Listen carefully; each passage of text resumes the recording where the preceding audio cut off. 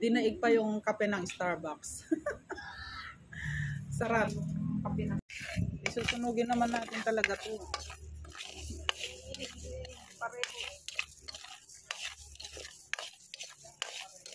Ito po yung ano, ah, sinaunang kape. Ibabalik natin ang nakaraan. 'Di ba?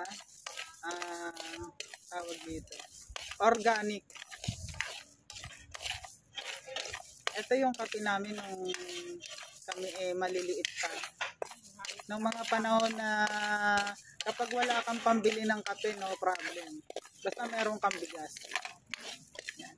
Ahaluin lang po natin siya hanggang sa maging kulay itim na siya lahat.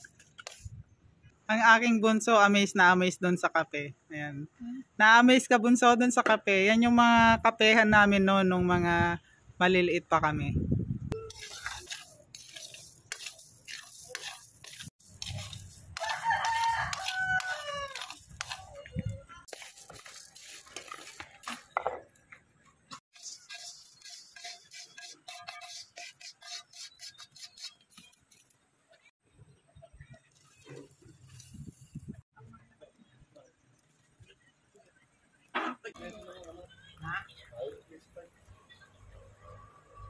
Pangit.